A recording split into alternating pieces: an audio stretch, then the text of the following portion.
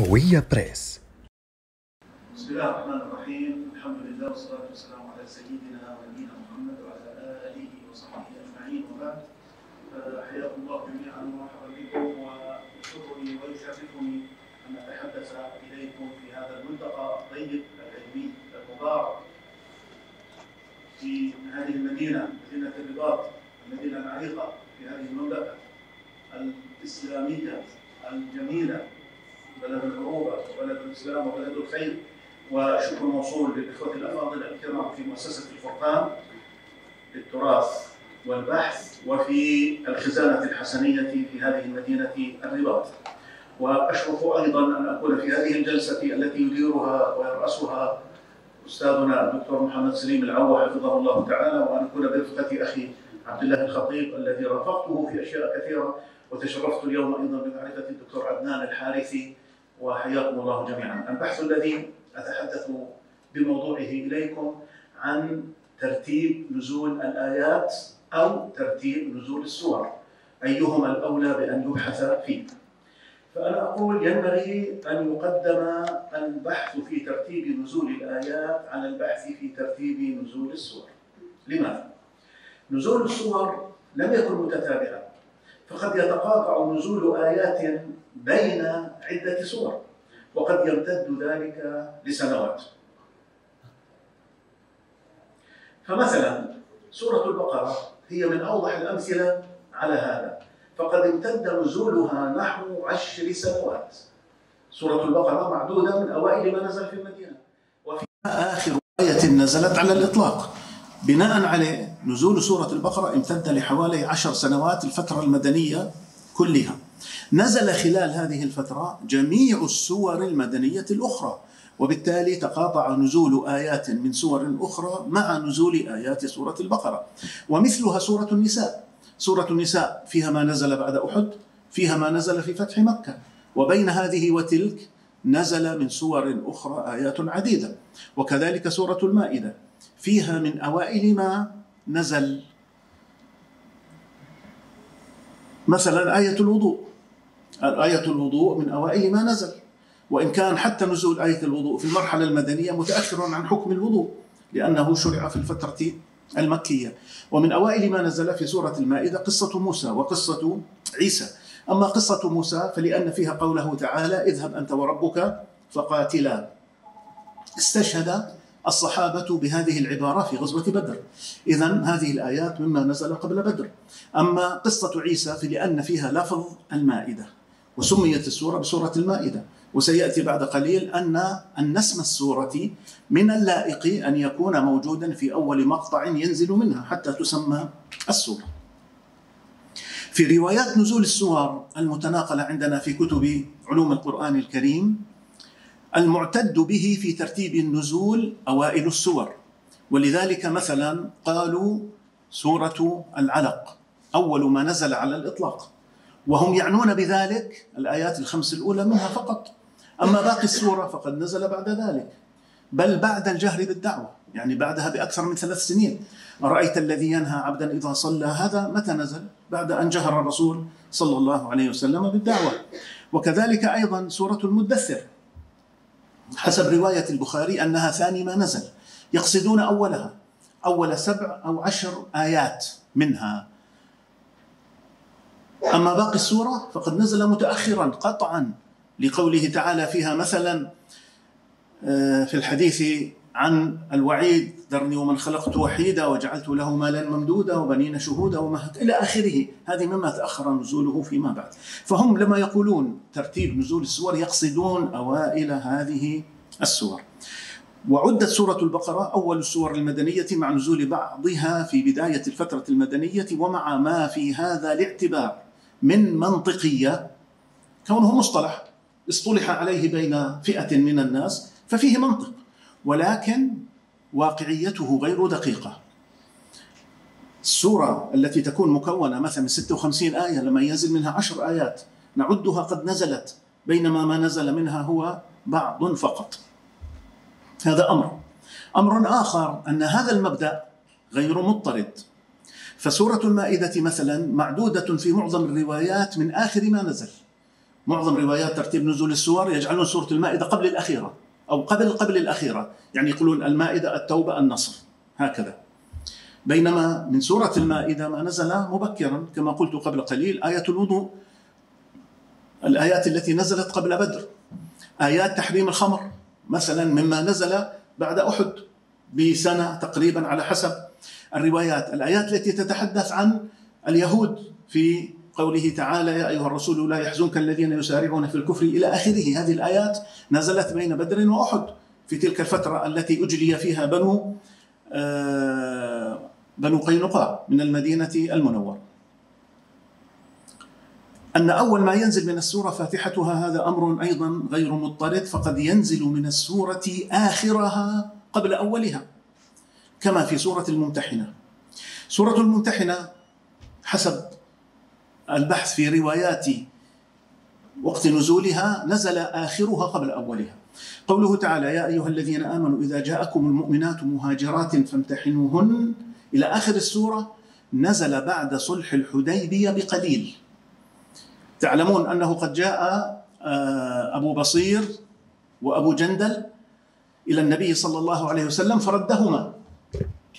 وجاءت مجموعة من النساء مهاجرات فلم يردهن.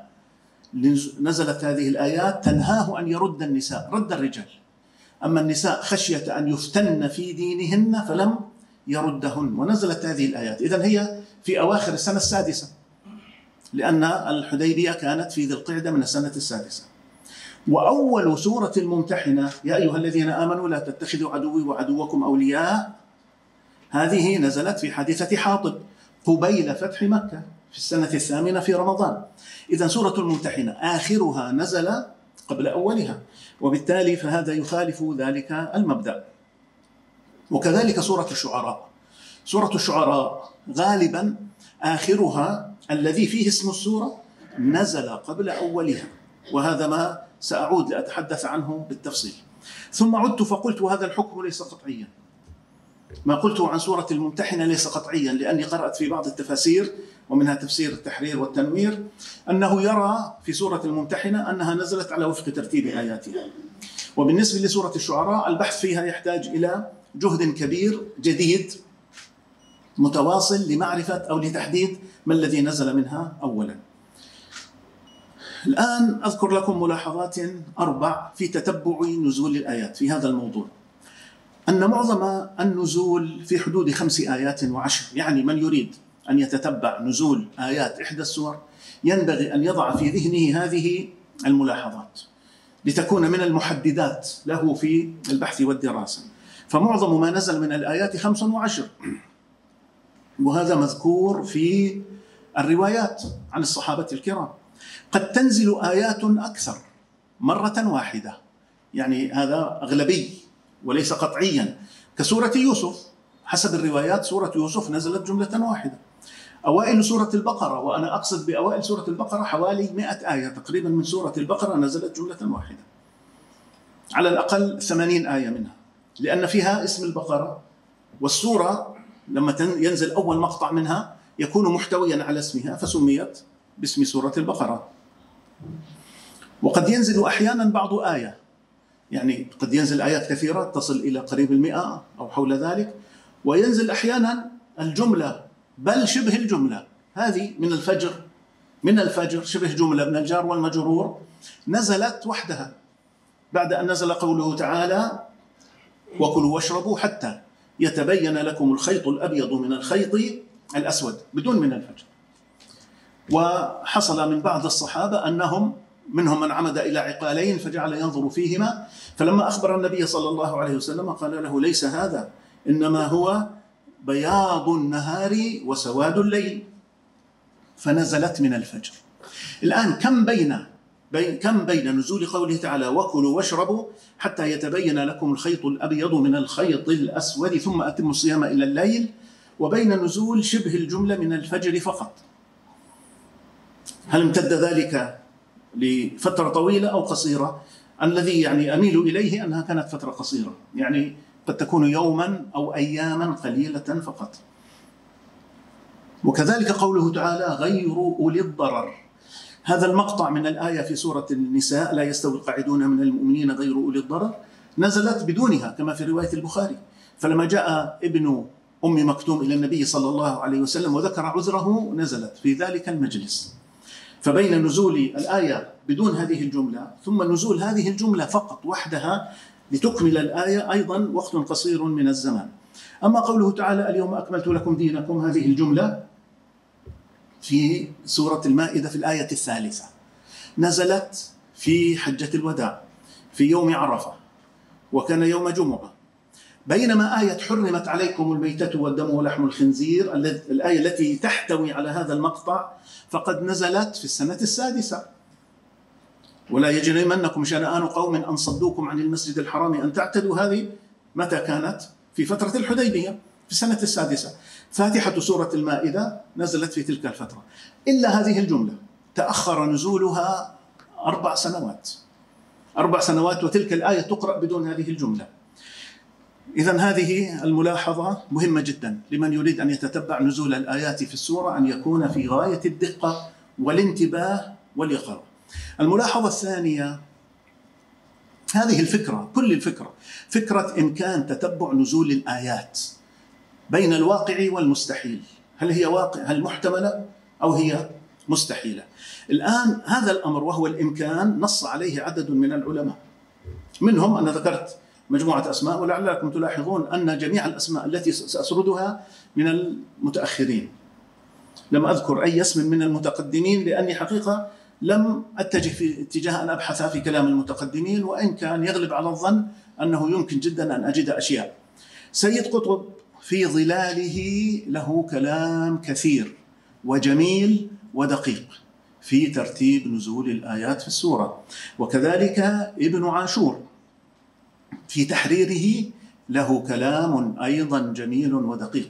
وإن كان ابن عاشور أنا أعد عددت بحثا عن ترتيب نزول آيات سورة المائدة كنت أرجع إليه. هو كان يرى أن سورة المائدة نزلت متأخرة ولكن وشبه جملة واحدة. ولكنه عندما جاء لآية تحريم الخمر قال ولعل هذه مما استثني. لما جاء على آية الوضوء قال ولعل هذا مما استثني. يعني كثرت عنده الاستثناءات في هذه السورة تحديدا. الأستاذ إبراهيم خليفة يعني أنا أحيانا لا لا يحلو لي أن أفرق بين الأشخاص لما أذكرهم. يعني لو أردت أن أترحم على أحدهم فأنا ألزم نفسي أن أترحم على الجميع. ولو أعطيت لقبا لأحدهم ألزم نفسي أن أعطي لقبا للجميع. يعني هذا هو الأولى. ولكن الآن فلتت من لساني كلمة الأستاذ لأنه أستاذي إبراهيم خليفة. الأستاذ في جامعة الأزهر معروف أستاذنا. أيضا نص على ذلك في بحثه عن سورة النساء. زميلنا في الكلية عبد السلام المجيدي أيضا له بحث في هذا ويؤكده. شافي العجمي أستاذ في جامعة الكويت أيضا له بحث في تتبع نزول الآيات. الملاحظة الثالثة.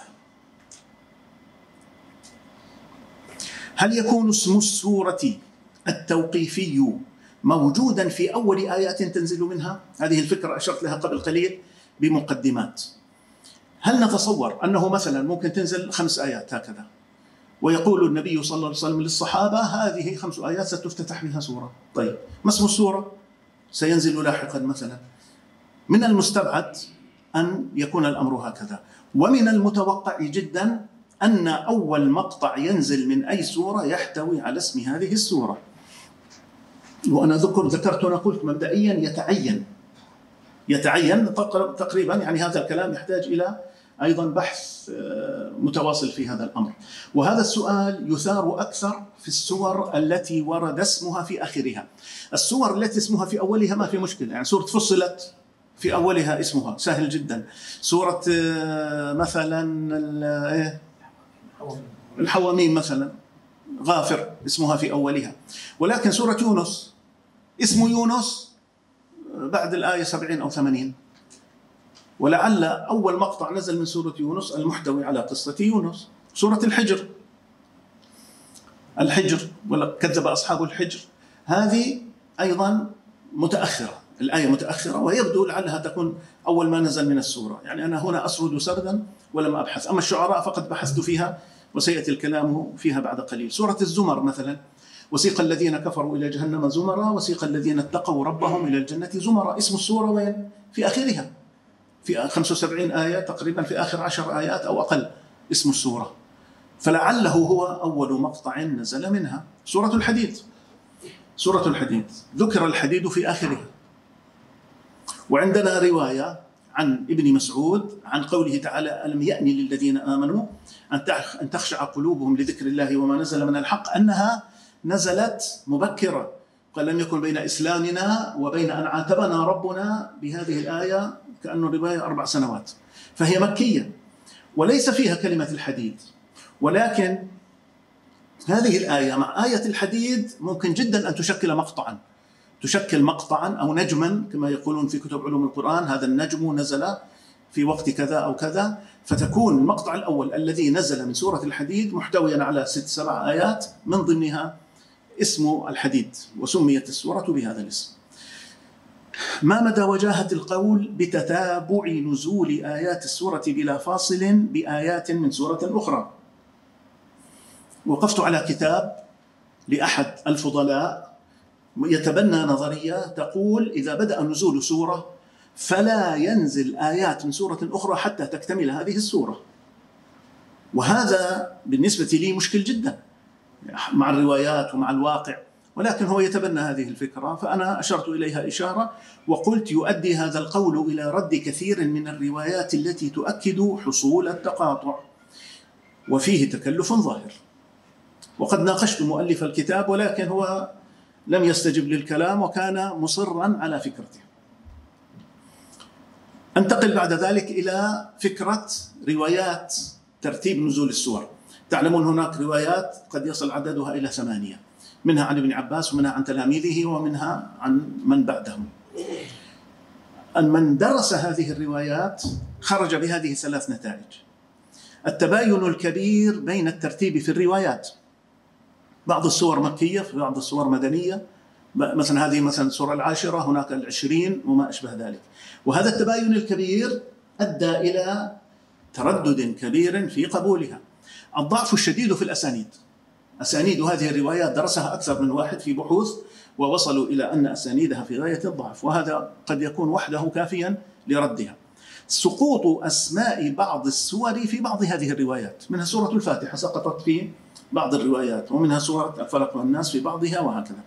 هذا يجعلنا ننظر في روايات ترتيب نزول السور نظرة تأمل وتردد في قبولها ولأنهم أصلا لما يقولون هذه السورة مثلا كما قلنا سورة البقرة أول ما نزل بالمدينة أي أولها فقط وليس السورة كلها. ومع ما في ترتيب نزول السور وفق النزول من إشكالات إلا أن عددا من المفسرين اختاروا ترتيب تفاسيرهم على وفق النزول. وهذا الفعل أثار عواصف من ردود الفعل. كلمة عواصف لما كتبتها مسحتها ثم عدت فكتبتها مرة أخرى قلت لا مناسبة. وإن كان كما قلت هنا بين الرفض والقبول بعنف أو هدوء. يعني الذين ردوا على هؤلاء منهم من كان عنيفا منكم منهم من كان هادئا. ولكن حتى الهادئ كان كان مزمجرا كان يسير على هيئة العاصفة. وقامت حول هذا العمل دراسات أكاديمية عديدة. ذكرت في بحثي حوالي عشر منها في في هامش إحدى الصفحات لمن يهمه هذا الموضوع كما يهمني أن يرجع إلى آه، هذه المؤلفات. خاصة أن من سار على هذا الترتيب لم يحقق الروايات ولم ينقدها غالبا. معظم هؤلاء المفسرين على جلالة قدرهم لم يراجع روايات ترتيب النزول. نقلها. نقلها من أحد المراجع واعتمدها وكان الحري وكان حريا بهم وكان الأولى بهم. خاصة العلماء الراسخين منهم كما سترون بعد قليل أن يراجعوا هذه الروايات. لعل أولهم محمد عزت دروزة في التفسير الحديث. وثانيهم عبد القادر ملا حويش العاني. عنوان تفسيره بيان المعاني. كلا هذين التفسيرين طبع سنة 1973 ولا أدري أيهما أعد تفسيره قبل الآخر.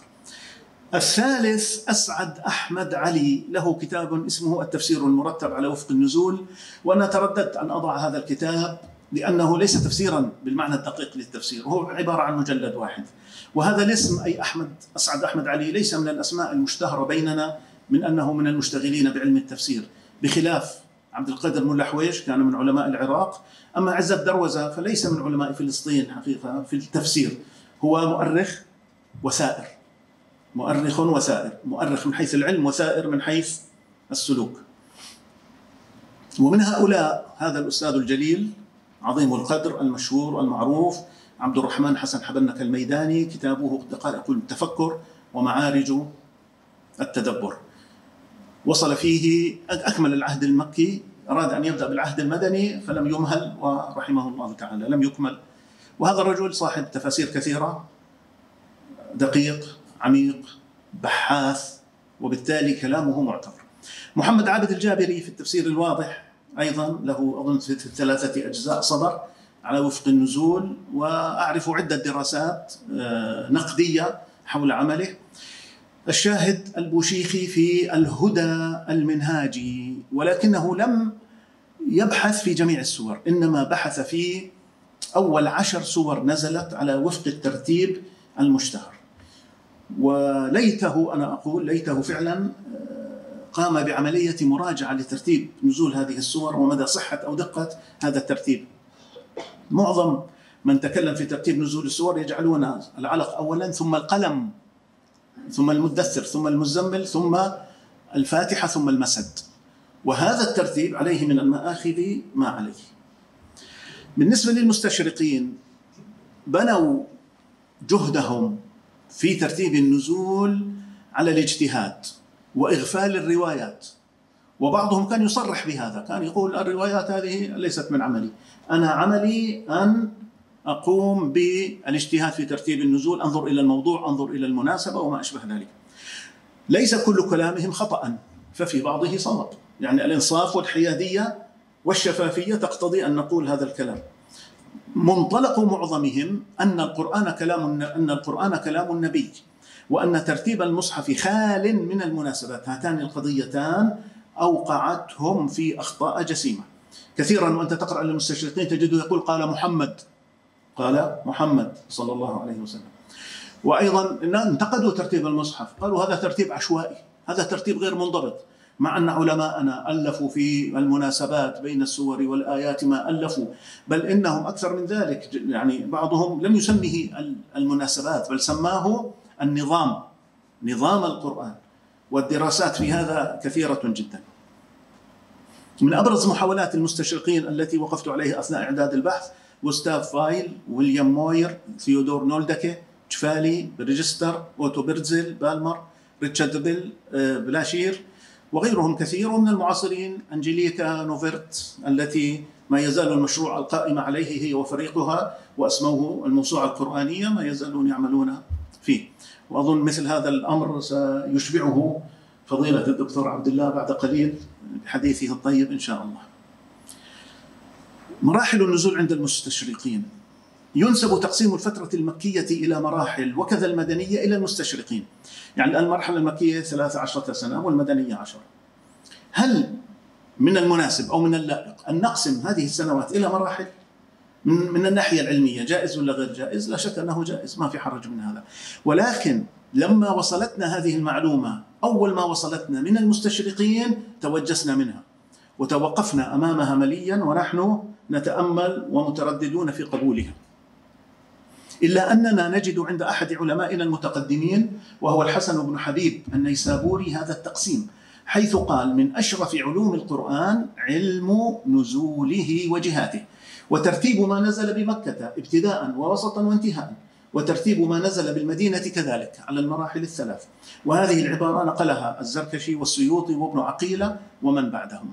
وبالتالي فإن تقسيم النزول إلى مراحل لا حرج فيه. مراجعة ترتيب نزول آيات من سورة الشعراء هذا المبحث الأخير في بحثي فيما بقي معي من وقت أحدثكم قليلا عنه. عند معظم المستشرقين سورة الشعراء هي السادسة والخمسون في ترتيب النزول وفي معظم الروايات هي السادسة والأربعون في فرق في ترتيب نزولها. نقل نولدك في كتابه تاريخ القرآن عن بعض علمائنا أقوالا تستثني منها آيات. لاحظ هنا ينقل روايات يعني هو يحلو له أن ينتقي. أحيانا يذر الروايات وأحيانا يلجأ إلى الروايات. مثلا الآية 197 أولم يكن لهم آية أن يعلمه علماء بني إسرائيل؟ يقول ينقل أنها نزلت في المدينة لأنها تتحدث عن بني إسرائيل. الآية 214 وأنذر عشيرتك الأقربين. هذه الآية وحدها. أو هي والمقطع الذي هي فيه إلى قوله وأكثرهم كاذبون تعود إلى أوائل ما نزل. آخر السورة من قوله تعالى والشعراء إلى آخر السورة قال نزلت في المدينة. طبعا بناء على رواية. لذكر حسان وابن رواحة وكعب بن مالك في رواية سبب النزول هؤلاء الثلاثة من الأنصار. الآن نولدك في كتابه يقول هذه الآيات وأنذر عشيرتك الأقربين إلى وأكثرهم كاذبون يقول لا يمكن أن تكون مما نزل مبكرا. يجزم لا يمكن أن تكون مما نزل مبكرا. لماذا؟ قال بسبب أسلوب الآيات غير القوي. لأنه هو يرى أن الآيات السور التي نزلت في بداية الدعوة مثل القارعة والعاديات والزلزة وهكذا هذه السور التي تحمل الأسلوب القوي. فهذه الآيات لأن أسلوبها هادئ قال لا يمكن أن تكون من أوائل ما نزل. وأن قوله تعالى واخفض جناحك لمن اتبعك من المؤمنين يشير إلى جماعة لم تكن قد وجدت في ذلك الوقت. ومع ذلك ذكر في الهامش نقل عن ابن هشام قال ممكن أن يكون هناك أتباع قبل الجهر بالدعوة ولكن علق بهذه العبارة. قال الذين اتبعوا النبي عليه الصلاة والسلام في البداية قال ربما بواسطة نوع من السحر لاحظوا كيف؟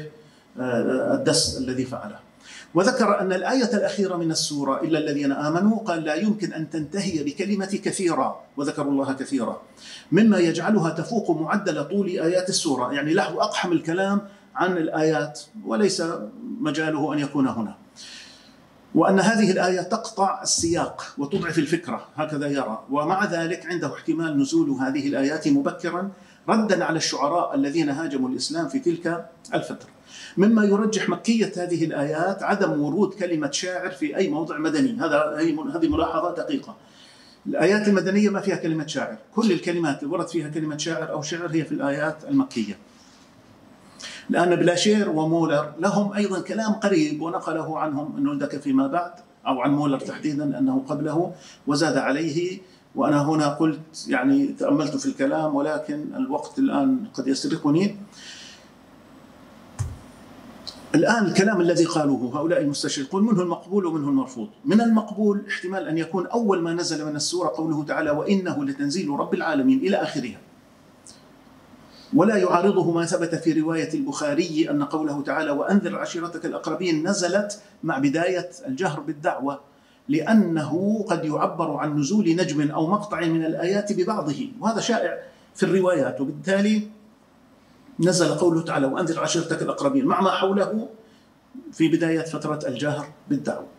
فأنا تأملت حقيقة في هذه الآيات وفي محتواها ووجدت أنه مناسب جدا لأن يكون من أوائل ما نزل في فترة بداية الجهر بالدعوة تحديدا لأنه من حيث الموضوع الآيات تتحدث عن نزول القرآن وعن جبريل وأنه بلسان عربي مبين لا عجمة فيه آه، يصدقه ما في الكتب السابقة علماء بني إسرائيل يشهدون له وتهديد لمن لم يستجب للدعوة.